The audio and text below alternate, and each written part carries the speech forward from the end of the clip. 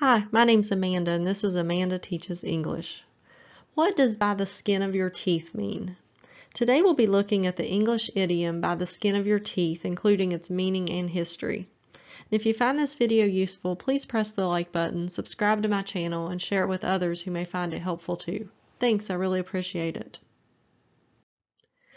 By the skin of your teeth is an idiom.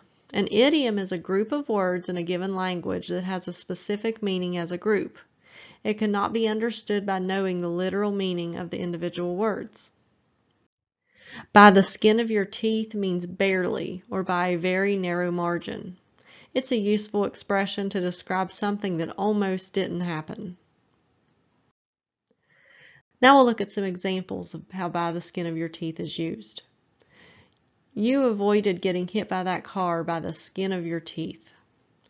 I passed the class by the skin of my teeth. We won the game by the skin of our teeth.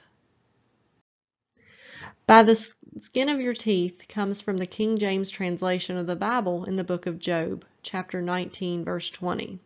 My bone clings to my skin and to my flesh, and I have escaped by the skin of my teeth. In summary, by the skin of your teeth is an idiom that means barely or by a narrow margin.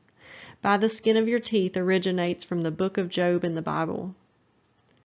Thanks for watching. Please like and share this video with others who may find it helpful, and please subscribe to see more of my English learning videos. Thank you.